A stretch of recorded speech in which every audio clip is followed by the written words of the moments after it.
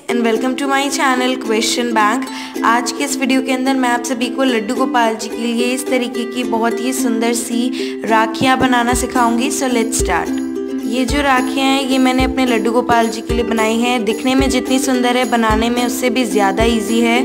आप भी इसको ज़रूर ट्राई करें अपने घर पर एंड बहुत ईजीली बन जाएगी। बीड्स बॉल चेन इनकी मदद से ये राखी। सबसे पहले मैं आपको ये बीडेड राखी बनाना सिखाऊँगी। इसके लिए हमें मोतियों को बस शेप में लाना है। तो देखिए, यहाँ पे मेरे पास कुछ रेड कलर के बीड्स हैं, जिनको मैं निडल में डालूँगी। एंड आप इसके लिए जो बीड्स हैं, वो अपने हिसाब से ले सकते हैं। पाँच, चार छः जितने आपको चाहिए। देखिए, इस तरीके से हमें डालना है। तो देखिए, मैंने यहाँ पे पाँच मोती डाल लिए हैं। अब मैं यहाँ पर एक नॉट टाई करूँगी। एकदम टाइट जिससे ये इस तरीके की शेप में आ जाएगा। तो देखिए अब मैं क्या करूँगी, मैंने एक वाइट बीड लिया है जिसको मैं इसके सेंटर पे सेट करूँगी। बीड्स के जो कलर्स है वो आप टोटली अपने हिसाब से ले सकते हो।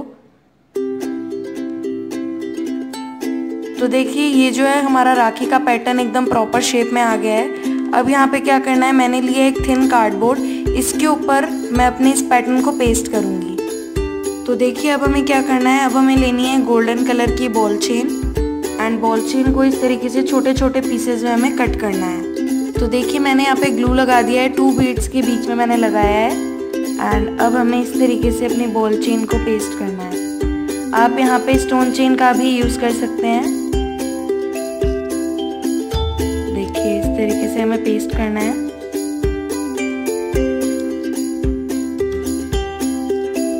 अब देखिए, ये हमारी राखी का पूरा बेस बन के बिल्कुल तैयार है। अब मैं इसको ड्राई होने दूँगी और उसके बाद कट करूँगी। तो देखिए, अब हम बनाएँगे राखी के लिए इस तरीके की डोरी, जिसके लिए मैंने यहाँ पे एंकर के थ्रेड को थ्री पीसेस में कट कर लिया है। आप वूल का भी यूज़ कर सकते हो। तो अब मैं क्या करूँगी, इन तीनों पीसेस को मैं इस तरीके से आपस में इक्वली पकड़ के रखूँगी। एंड उसके बाद यहाँ पर मैं एक नॉट को टाई करूँगी। देखिए, कुछ इस तरीके से। तो नॉट टाई करने के बाद हमें क्या करना है, मैं यहाँ पर एक टेप का पीस ले रही हूँ, जिसकी मदद से मैं इसको एक जगह पर कनेक्ट करके रखूँगी। तो देखिए, अब जैसे हम चोटी गूंथते हैं, ठीक उसी तरीके से हमें करना है।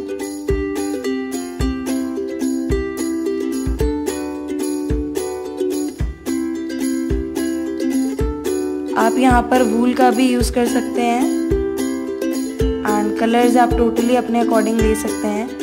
इस तरीके के कलर्स लीजिएगा जिससे आपकी बीड्स जो है वो भी मैच हो जाए। तो देखिए, इस तरीके से मैंने इसकी थ्रेड पूरी तैयार कर ली है। पहले शुरू में हमने नॉट टाई किया, इसको पूरा गूथ लिया और उसके बाद नीचे भी मैंने एक नॉट टाई कर दिया। अब लेना है हमें छोटा सा बुकरम का पीस एंड ये जो थ्रेड है, इसको इसके ऊपर पेस्ट करना है। एंड अब जो ये हमने पैटर्न तैयार किया था, इसको भी मैं यहाँ पर पेस्ट कर दूँगी। तो ये वाली जो राखी है, इसको बनाने का मेथड तो सेम है। बस यहाँ पे मैंने एक सिंगल वूल ली है। इस वाली राखी के लिए आपको फोर ही बीड्स लेने और उन पर नॉट टाई करनी है और सेंटर पे एक वाइट बीड लगाना है। बॉल चेन का कलर मैंने अलग लिया है। एंड ये भी एक तरह से यही वाली राखी है। बस इसमें मैंने वाइट बीड नहीं लिया है सेम ही कलर के बीड्स लिए हैं। अब मैं आपको एक अलग तरीके के पैटर्न की राखी बनाना सिखाऊँगी, जैसे जिसमें हम कुछ भी पेस्ट करके उसके साइड में लेयर दे के लगाते हैं। तो इस राखी के लिए हमें बुकरम का एक पीस चाहिए। इसके ऊपर मैं पेस्ट करूँगी ये रेड कलर का कुंदन। अब यहाँ पर मेरे पास इस तरीके के सिल्वर कलर के बीड्स, जिनको मैं निडल में पिरोंगी और उसके बाद इसके कॉर्नर्स पे मैं लगाऊँगी। जैसे इसके कोनों पे अच्छे से लगाया है, वैसे इसके कॉर्नर्स पे भी लगाने हैं। देखिए, ये मोती तो सारे हमने पिरो लिए हैं, अब मैं इनको यहाँ पर पेस्ट करूँगी। ग्लू मैंने ऑलरेडी लगा लिया है। तो देखिए पीस हमारा ड्राई हो गया है। मैंने इसको कट कर लिया है। यहाँ पे डोरी के नीचे मैंने अगेन बुकरम ही लगाया है, जहाँ पे मैं इसको पेस्ट करूँगी।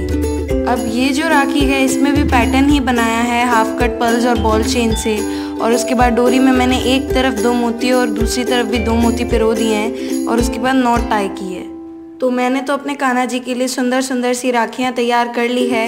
अगर आपने अभी तक नहीं की है तो इस वीडियो से उम्मीद है आपको बहुत अच्छे अच्छे आइडियाज़ मिले होंगे। तो प्लीज़ इतनी मेहनत के लिए एटलीस्ट आप एक लाइक तो दे ही सकते हो। और चैनल को शेयर करना सब्सक्राइब करना और जो बेल आइकन है, उसको भी ज़रूर टैप करना। ये राखी सिर्फ़ पाँच मिनट में आराम से तैयार हो सकती है और बहुत सुंदर लगती है बनने के बाद।